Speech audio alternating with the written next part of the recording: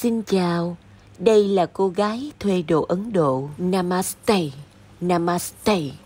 Cô gái thuê đồ Ấn Độ ăn dâu da. Cô gái thuê đồ Ấn Độ thấy trên mạng người ta ăn dâu da một cách ngon lành nên bắt chước mua ăn theo. Nhìn cô gái thuê đồ Ấn Độ ăn dâu da một cách ngon lành, đâu ai biết được bên trong bà mẹ nó chua.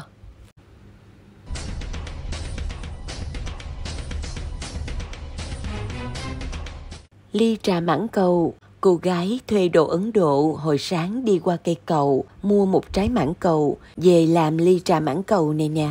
Nói chứ cô gái thuê đồ Ấn Độ mua ly trà mãn cầu này ở cái chỗ bán trà mãn cầu á. Cô gái thuê đồ Ấn Độ ăn lấy ăn để vì thấy nó quá ngon nhưng sau đó cô gái thuê đồ Ấn Độ bị Tào Tháo rượt nên không tiện nhắc tên cái tiệm đã bán ly trà mãn cầu này.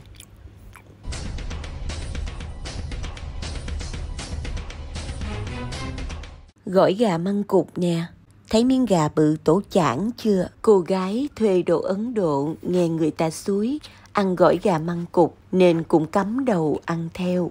Cô gái thuê đồ Ấn Độ ăn măng cục thấy nó thơm mùi măng cục.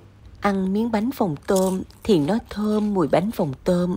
Ăn miếng gà thì thấy nó thơm mùi thịt gà. Cô gái thuê đồ Ấn Độ đang ăn thì con nhỏ bạn lại xin cô gái thuê đồ Ấn Độ đưa cho nó cái phao câu mà nó chê nên cô gái thuê đồ Ấn Độ ăn luôn.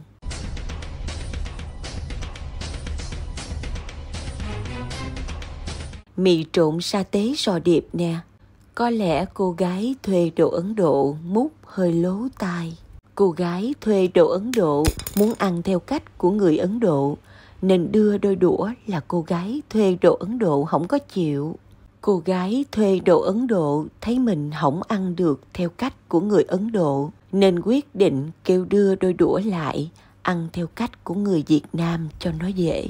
Ăn mì trộn sa tế sò điệp này, cô gái thuê đồ Ấn Độ thấy nó ngon lắm. Còn lựa cái miếng thịt có nhiều sa tế để ăn nữa chứ. Sau khi quay xong clip này, cô gái thuê đồ Ấn Độ bị trúng thực. Cho nên đừng có ai bắt trước cô gái thuê đồ Ấn Độ nha. Nè, lúc này chưa trúng thực cho nên còn quăng miếng dơ kéo mì ra vô nữa nè. Thôi, cô gái thuê đồ Ấn Độ tranh thủ đem trả bộ đồ đây. Thôi hút ngại là không có tiền bù vô đâu đó.